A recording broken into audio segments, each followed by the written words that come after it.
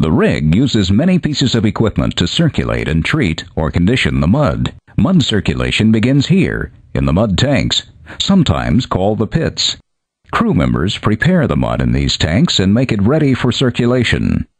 The heart of the circulating system is the mud pump.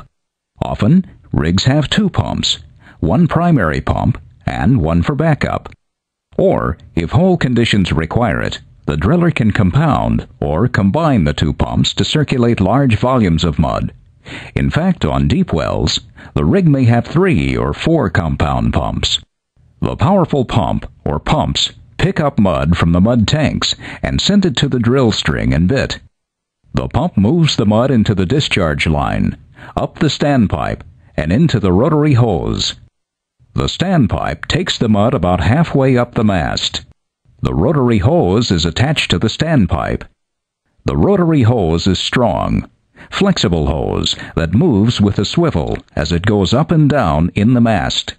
From the rotary hose, the pump moves mud through the swivel and then down the Kelly and drill string.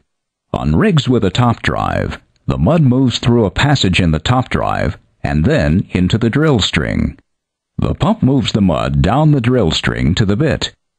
At the bit, the mud jets out of the openings or nozzles in the bit. The jets of mud move cuttings away from the bit. Mud then continues up the annulus, carrying the cuttings with it. From the annulus, the mud with the cuttings in it goes through the return line, sometimes called the flow line, to the shale shaker.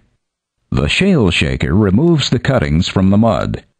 The mud then falls into the mud tanks, where the mud pump can pick it up and continue the circulation process.